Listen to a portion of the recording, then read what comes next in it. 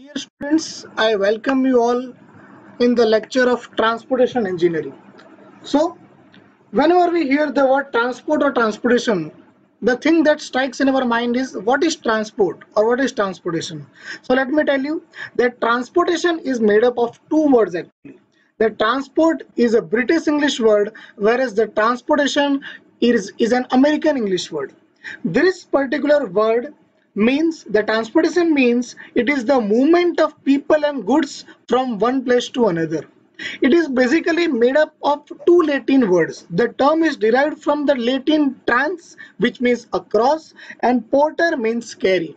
Now let us discuss about the various segments of your syllabus. Your syllabus of transportation engineering is divided mainly into five parts. The first part is about the introduction in which various kind of transportation and organizations and their functions will be covered. Second is about the highway transportation which covers the introduction, geometric design, materials, pavements and lighting and traffic engineering. Third is about the rail transportation which covers various kind of components, functions and purposes. Fourth is about the water transportation that covers the part of harbor, definition, structure, functions and navigational aids. And fifth is about the air transportation which covers the part of airport and importance.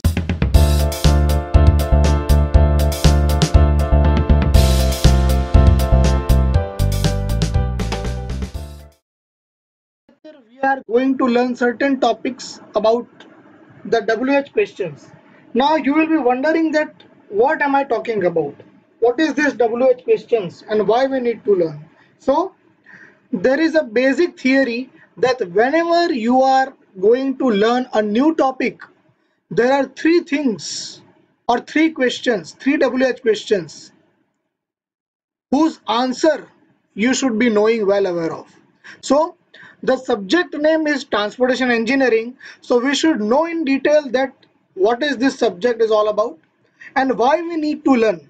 Now, the answer of what can be combined in one single definition. But whenever I am talking about the reasons for learning any subject, the reasons or the motive to learn any subject are different. So what are the reasons that why we should learn road transportation or transportation engineering as a subject, as an engineering subject? There may be two benefits. There may be two reasons of the why. First is the academic benefit criteria and second is the commercial benefit criteria. As we are entering in the third year of the engineering along with the academic benefit academic benefits we should be well aware of the commercial benefits that after learning the subjects how this subject of transportation engineering can be helpful in the real life or through the transportation engineering subject how you can earn the benefits on a commercial base. So let us learn the answers of why and what and how. What is transportation engineering? So transportation engineering is basically made up of two words. First is the transportation and second word is the engineering. Now as you are entering in the third year of the engineering, you all are well aware of the fact that engineering is the branch of science and technology that converts the concept into executional models. Means in, as an engineer, you always tend to solve the problems. Now, how what do you mean by the transportation term? What is the mean of transportation? and what is the importance of transportation let us learn this particular two questions or the answers of these two questions in further slides here you can see number of news articles first is about the two-wheeler sharing services resume operations across the cities amid lockdown 4.0 Nowadays, we all have observed the conditions and circumstances of COVID-19 and we all know that how transportation is affected by COVID-19. You cannot move from one place to another if efficient transportation is not there. Now second is also one of the news articles. It is the latest articles of the private bus operation. Third is about the transport and logistics news. Fourth is about the construction of roads worth 15 lakh crore rupees in next two years. It is also one of the latest articles. and the news is from Mr. Nitin Gadkari who is the Minister of Road Transport and Highway which is also called as MORTH. Now you may be wondering that why am I showing these photos to you. So I have already established the fact that before learning any subject you need to learn the reason or the answers of why that why you need the, to learn this particular transportation engineering subject. So the answer of why is in my next photo. You can see in this photo that budget and infrastructure sector, the key highlight segment states that Finance Minister Sri Nirmala Sitharamanji on Saturday has allocated 1.7 lakh crores rupees towards transportation infrastructure in that 2020-21 budget. Friends, rupees 1.7 lakh crore is the huge amount as far as the Indian budget scenario is concerned. And she has also promised that more Tejas type trains will connect tourist, tourist destinations. Now, why am I showing this particular news articles? By showing all these articles, I only want to show that the transportation industry in India is currently on the most important sector one of the most important sector so whenever you try to learn any of the concept any of the theories or any of the topics from transportation engineering make sure that you are learning these things for your personal benefits personal academic benefits and commercial benefits. Now answers to the why technical answers of why. Why we need to learn transportation engineering as far as academic criteria of the semester is concerned let me tell you that india is having 33 lakhs kilometer of road stretch. Total road stretch i am talking about. Not a railway stretch not airway stretch i am talking about the roadway stretch. Another fact is in india the major major channel of transport is road network. And the road network in in, in india is the second largest in the world. So it works as the feeder and defense in the time of war and it also optimizes the cost. You may have felt that whenever you are transporting from one place to another, the comparative cost of road transport is quite lesser than any other means of means of transport. So these are one of the technical reasons that why you need to learn transportation engineering and or why you need to learn the road transport. Now if you jump in the key highlights of this budget of 2021, you may observe that certain transportation infrastructure facilities are going to be commenced. That National Highway Authority of India to monetize 12 highway bundles, 2,500 highway development is going to be proposed, 9,000 kilometer of economic corridors are going to be targeted, 2,000 kilometer of coastal roads are going to be targeted, Delhi-Mumbai Expressway is to be completed by 2023. New Tejas type trains are also going to be proposed. High speed train between Mumbai and Ahmedabad are also going to be actively pursued. So these are the key highlights which states that on present scenario, the transportation engineering plays an important role in your academic curriculum as well as in your real life criteria. So this is the answer of why. Now, let us learn what is the transportation actually. So let me tell you that for any country to develop with right momentum, modern and efficient transport is the basic infrastructure. It is the must situation. It has been seen throughout the history of any nation that a proper, extensive and efficient road transport has played a major role. Throughout the history, if you observe, then you will you will uh, try, you will able to analyze that people's progress has been sustained on the convenience speed and safety of the modes of transport. And by all the means of transport if we talk about the road transport then the road transport occupies a primary place in today's world as it provides a rich unparalleled by any other contemporary mode of transport. Now let us learn about the transportation how this term of transportation is coined or how it is defined. Transport, my friends, transport is a British English word and transportation is an American English word. It just means the movement of people and goods from one place to another. The word transportation is made up of Latin two words. Trans, the word trans means across and the word sport means to carry. The transportation means the movement of people and goods from one place to another. Now, why we need to learn the transportation engineering as far as the academic criteria is concerned? Don't get confused. In, in the previous slides, I have mentioned the real-time facts and figures that what is the current scenario of transportation in India. And now I am going to narrate about the academic criteria. So the answer of importance of transportation can be understood with nine strong benefits or you can say the functions of transportation.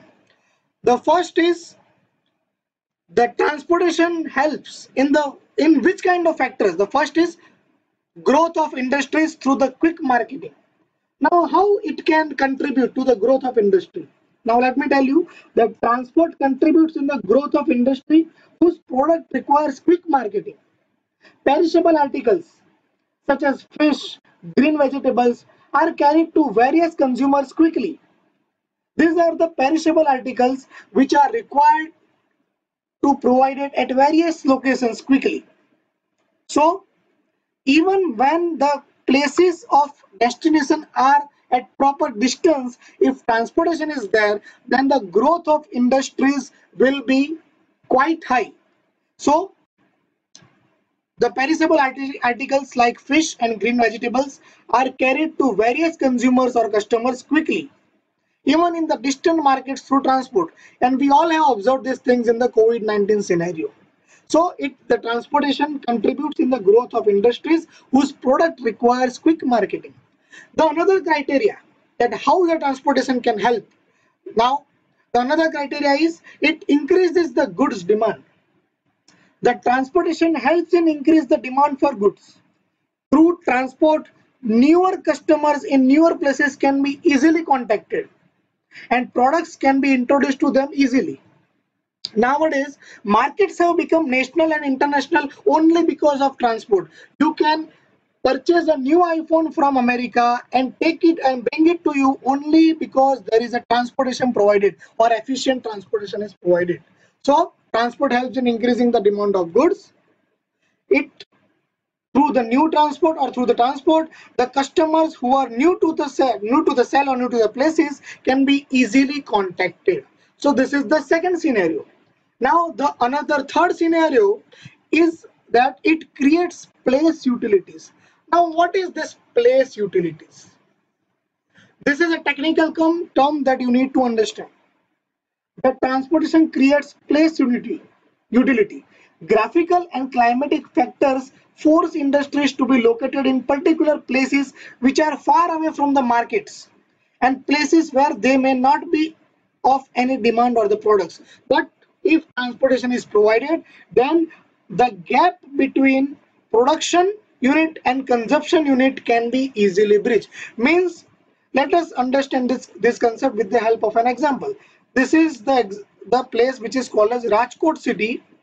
Let us take this is an Ahmedabad city. Now let us assume that in the Rajkot city there is a production factory of Balaji wafers. But most of the Balaji wafers are sold in Ahmedabad. Now if the transportation is provided, the production and consumption center this is the production center where the wafers are product produced and this is the consumption center.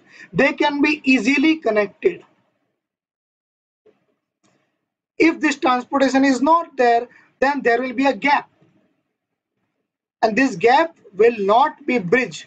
So the place utilities can be created easily. The another criteria is that it creates time utility. Now what is the meaning of time utility? Of late transport has started creating the time utility also. It has been made possible by virtue of improvements in the speed of transport. If the speed of transport is much, it is more, then it will help the product to be distributed in the various segments, various places in minimum possible time. So here we are talking about the transportation speed or the speed of transportation that if the transportation is provided and if the speed if the speed of transportation is higher then the products can be distributed in minimum possible time. Now the another criteria is about the balancing of supply demand factors. Now how it helps in stabilization of the price. So the transportation exerts considerable influence upon the stabilization of the prices of several commodities because when a commodity is moved from one place to another it may happen that the additional charge of transport may leave on it so how it can be equalized if the commodities are transported from the surplus zone to the deficit zone now the surplus zone means where the requirement of things are less. Deficit zone means which zones? The zones where the demand is high. If the articles are transported from this place to this place, the distribution will be equalized and the demand and supply will be balanced equally. So this is how it equalizes the supply and demand factors and it makes it stable. Now the another factor is about the even distribution of commodities. It may happen that certain commodities may not be available at certain places in any nation or in any area. Let us take an example that we all have heard about a thing called as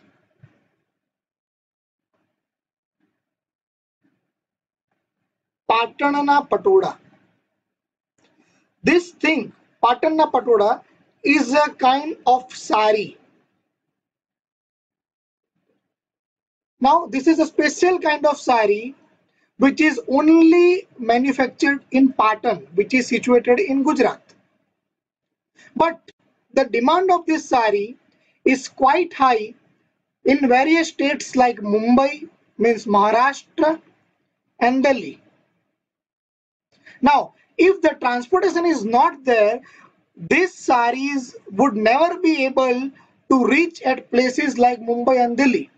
And all the production of these saris will be wasted. But with the help of this transportation, this kind of commodities can be evenly distributed to the places where they are not manufactured.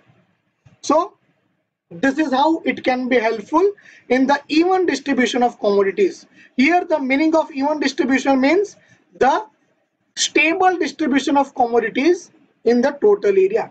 Now decentralization. Let us understand the fact that in India the production of steel was first started in Jamshedpur But as the demand was increased, various steel plants were relocated in various kind of states. Let us take it at Gujarat, Maharashtra, Andhra Pradesh and Madhya Pradesh. So this is called as the decentralization that the production unit of any industry is not located at the at one center only but it is decentralized where it is required it is called as decentralization. It increases the standard of living, essential factor for the further development of marketing and economy. Now the eighth factor is the competition identification. With the help of transportation, the various kind of competitors are introduced which in turn the prices are reduced. The prices are reduced because of the facilities offered by the transport for large scale production. And advantages of this large scale production is possibly only due to transport. If there are only two or three production unit or two or three companies which produces mobile in India, then it will be called as the monopoly. But there are total 15 to 20 companies. So there is a healthy competition between these companies. And this is all this is due to the transportation. So this is how it reduces the prices through competition identification. And last but not the least, the last criteria is it increases the mobility. It increases the mobility. The mobility means access to transportation.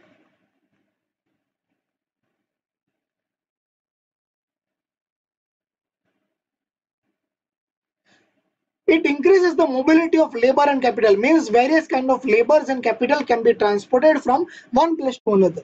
It makes people of one place migrate means move to another places in search of jobs. Even capital machineries and equipments are also imported from foreign countries through transportation only. So this is how the importance of transport can be understood this was the answer of your what and why that what is the transportation engineering and why you need to learn. I have included this segment in your first lecture because from the next lecture you all must be properly attentive that you need to learn this subject on a priority basis. So let us revise the topics. Importance of transport. First is the growth of industries. It increases the goods demand. Second is it creates the utility place utility Fourth is it creates the time utility, utility. Fifth is about the supply demand factor, supply chain demand. Sixth is about the even distribution of commodities. Seventh is about the decentralization. Eighth is about the competition identification. And ninth is about the that it increases the mobility. Thank you so much.